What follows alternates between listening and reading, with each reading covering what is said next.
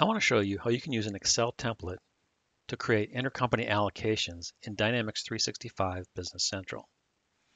I'm going to create the transactions in Excel and copy and paste them into the intercompany general journal entry and then post that transaction. So here's my Excel template. I created this template basically by copying the intercompany general journal form into Excel. You can see that right here. I've got that in rows 4, 5, and 6. What I've added to this is some calculations to get the numbers, these dollar amounts here, that I'm going to be allocating to the other companies. So I added some functionality here. I just added the amount that I want to allocate. I added the date here, and I just have a simple percent to allocate. That drives these amounts here and drives the dates over here. This is a simple example, but you could certainly make it more sophisticated. So what I'm going to do here is I've got this entry now.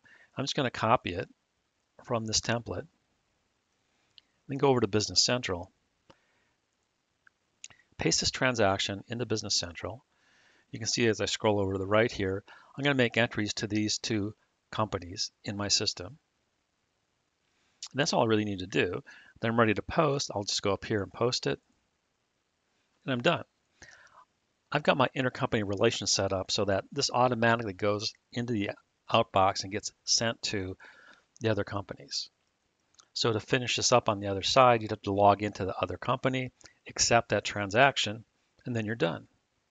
So this is an easy way to create intercompany allocations that you can do with Excel and also Business Central.